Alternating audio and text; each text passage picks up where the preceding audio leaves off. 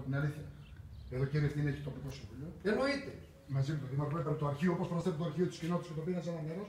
Και αυτό εφόσον ο σύλλογος είναι ανενεργός τη ζημί και κάποια στιγμή μπορεί να κάνει να πάρει, να πάρει, θα πεις, μα ο σύλλογος είναι, ε, έχει δικό της.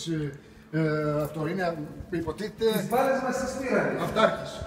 Μπάλες. Εδώ είχαμε του λαπάκια πάντως πάρθήκανε. Τα άλλα λεφτά της κοινότητας δεν ήταν από τη... Τώρα γιατί την πέρα για τις δουσιέρες. Τους γέρες όλα. Πάμε Εντάξει, στο αυτό- κτίριο. Αυτό μπορεί να έγινε από βανδαλισμό, ρε, από κάποιους. Ε, βανταλισμός. Δεν έχει Ποιος σημασία το- πόσο ρε θες. Κώστα. Σφραγίδα. Η σφραγίδα του Μάρκου του Καρασογιάννη. Κάτσε να την πάρω κι αυτήν. Εδώ είχε και στολές, είχε πράγματα. Τα πάντα ρε. Και είχε μια ντουλάπα που είχαμε 7 στολές. Πού είναι τώρα αυτές οι στολές, πού είναι; Έμεινε μια τηλεόραση εδώ.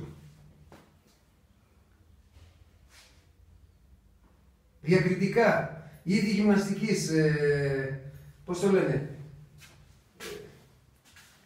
Οι σημαίες για τα κόρνερ.